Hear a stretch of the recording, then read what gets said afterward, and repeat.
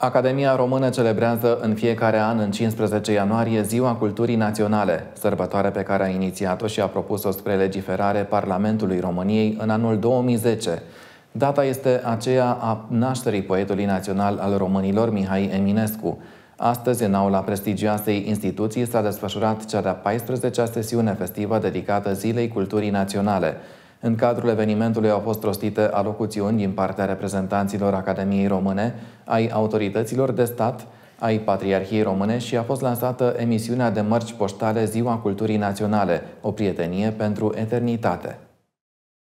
Sesiunea festivă dedicată Zilei Culturii Naționale a fost organizată de Academia Română în colaborare cu Academia de Științe a Moldovei. Evenimentul a avut loc simultan în aula Academiei Române și în sala Azuria a Academiei de Științe a Moldovei, în format hibrid. Sesiunea a fost deschisă de alocuțiunea președintelui Academiei Române, academicianul Ioan Aurel Pop. Ziua aceasta, care a fost propusă ca sărbătoare de către Academia Română,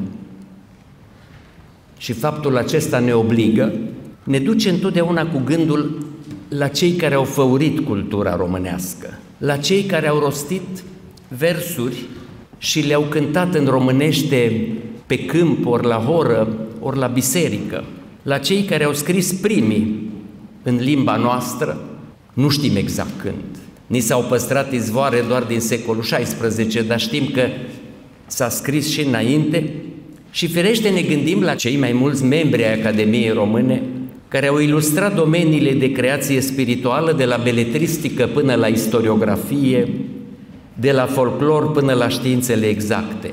Membrii și cercetătorii Academiei, deci, au studiat temeinic aceste teme lămuritoare pentru forma mentis pe care o avem, adică pentru felul nostru de a fi români.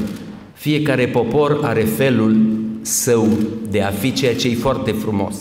În continuare, Sergiu Nistor, consilier prezidențial, a transmis mesajul președintelui României, Claus Iohannis. De ziua culturii naționale, spune în mesajul său președintele României, îndemn autoritățile să sprijine mediul cultural, public și privat, și să acorde importanța cuvenită educației și culturii în formularea strategiilor lor. Implicarea cetățenilor în viața culturală este strâns legată de angajamentul civic și democratic al societății. Îi felicit pe cei care slujesc cultura în toate formele sale și le mulțumesc pentru devotamentul lor, adesea neobservat, de multe ori insuficient apreciat. Un cuvânt a fost rostit și de Raluca Turcan, ministrul culturii. Ziua Culturii Naționale este pentru noi toți o invitație la trăirea și la promovarea culturii. Împreună putem construi o societate în care cultura să fie o forță pentru progres, înțelegere și armonie. Investiția în cultură, alături de cea în educație, este în esență o investiție în viitor. Avem responsabilitatea de a proteja și de a încuraja creativitatea și creatorii, de a păstra și revalorifica tradițiile, de a deschide noi căi către inovație. Și preafericitul părinte patriarh Daniel a transmis un mesaj care a fost citit de preasfințitul părinte Varlaam Ploieșteanul, episcop vicar patriarhal. Cuvântul părintelui patriarh a fost intitulat Hramurile marilor mănăstiri din provinciile românești și sărbătorile sfinților populari, evenimente de promovare a limbii și culturii române. Este bine cunoscută contribuția Bisericii la promovarea culturii în viața poporului român prin înființarea de școli, copierea de manuscrise, înființarea de tipografii și publicarea de cărți, participând astfel în mod substanțial la formarea limbii române și a conștiinței naționale, precum și la întărirea unității românești, inclusiv a românilor ortodoxi din provinciile aflate sub stăpânire străină.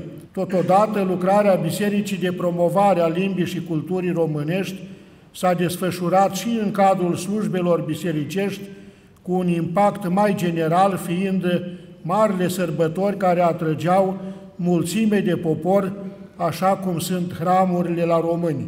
Hramurile au reprezentat pentru poporul român un prilej de comuniune și de mare bucurie duhovnicească, de sărbătoare, un important eveniment din viața comunitară, având mereu o componentă misionară și culturală. Hramurile ca evenimente sociale și religioase au fost mereu un prilej de cunoaștere și cultivarea credinței și spiritualității bisericii noastre, pentru că ceea ce trăiește și practică biserica își are temei în învățătura Domnului Isus Hristos transmisă prin Sfinții Apostoli.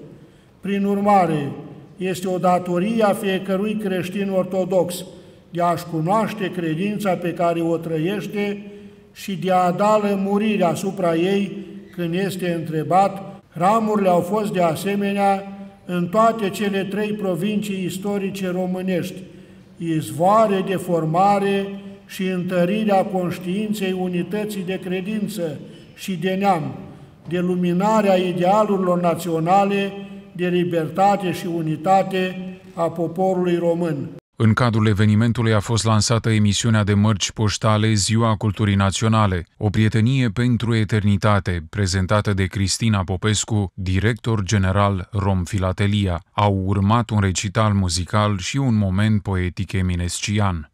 Ședința festivă din aula a fost urmată de un eveniment expozițional la Biblioteca Academiei Române. În sala Teodor Paladi a fost vernisată expoziția Anton Pan, Povestea vorbei, realizată în colaborare cu Muzeul Național al Literaturii Române. Această expoziție de astăzi este prima dintr-un ciclu de manifestări pe care Biblioteca Academiei Române le va organiza pentru a arăta tuturor și în mod special tineretului, că singura soluție pentru adevărată schimbare a societății mi se pare întoarcerea cu speranță și bună credință spre memoria modelelor, care să ne fie exemplu în alegerile pe care le vom face acum.